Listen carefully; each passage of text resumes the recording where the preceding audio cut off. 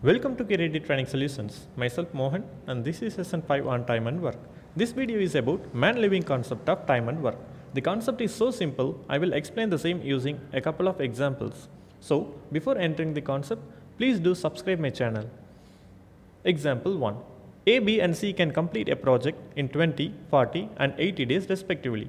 A worked for 11 days, then B and C together completed the remaining work in dash days.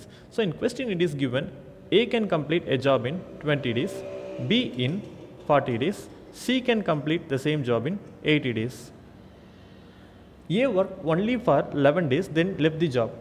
Then the remaining job is completed by B and C. So the question is the remaining job is completed by B and C in how many days? Since we don't know what is the total amount of work to be completed, take the LCM of 20, 40 and 80. So which is 80, right? Now A can complete these 80 units in 20 days. In one day A will complete 80 by 20, 4 units and B will complete 80 by 40, 2 units. C will complete only 1 unit per day. So A worked for 11 days. So in one day A will complete 4 units. In 11 days A can complete 44 units. So out of 80, 44 units gone. Remaining is only 36 units. Now A quit the job. B and C completed the remaining job. So B and C will complete 3 units per day. Right? So these 36 units will completed by B and C in how many days? This is our question. So this is our remaining job, right? So this 36 unit will be completed by B and C in cancel unit unit 12. So in 12 days B and C will complete the remaining job. Question number 2. A can do a job in 60 days and B in 120 days. Both of them work together for 30 days. Then B left the job. In how many days the total work is completed? So here the question is in how many days the total work is completed. That means from starting to end you have to calculate the total time required to complete the whole job. A can complete a job in 60 days. B can complete it in 120 days. Since we don't know what is the total amount of work to be completed, take the LCM of 60 and 120 which is 120 units. Now A can complete 2 unit per day. B can complete 1 unit per day. So together both of them will complete 3 unit per day. So in question it is given both of them work for 30 days and B left the job. So in one day 30 units will be completed by A and B. In 30 days 3 into 30 90 units will be completed by A and B. So out of 120 90 units gone. So remaining is only 30 units. Now B left the job. The 30 units have to be completed only by A. A will complete 2 unit per day.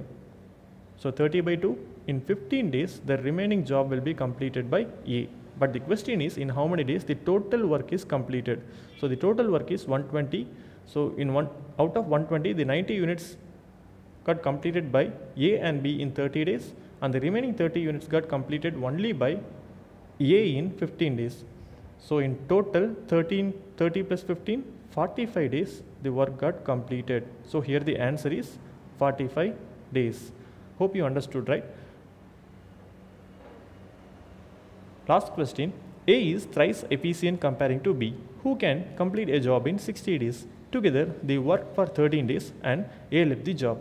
Remaining, remaining work will be completed in dash days. A is thrice efficient comparing to B. We know efficiency is inverse to the time.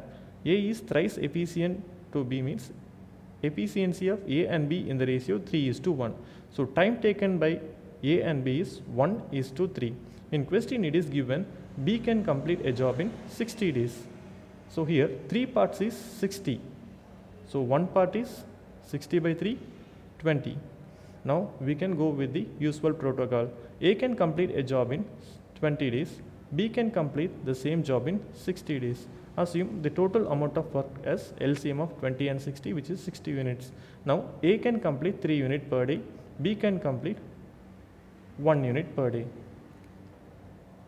So in question it is given together they work for 13 days. So A and B's one day efficiency is 3 plus 1 4 unit per day. So 4 unit per day is the one day efficiency of A and B. Both of them work for 13 days. So 4 into 13, 52 units. So 52 units got completed by A and B in 13 days. So out of 60, 52 units gone. So remaining is only 8 units. Now A left the job. So if A quit the job, B can complete only one unit per day. So this one with the efficiency one unit per day, the remaining job will be completed by B in 8 days. So here the question is remaining job will be completed in how many days? So the remaining job here is 8 units. This will be completed by B in 8 days. I hope that you understood the concept, right? So before winding up this channel, please like the video, subscribe my channel. If you have any doubt, please pass it on the comment section below. Don't forget to click the bell button. Thank you for watching. Have a nice day.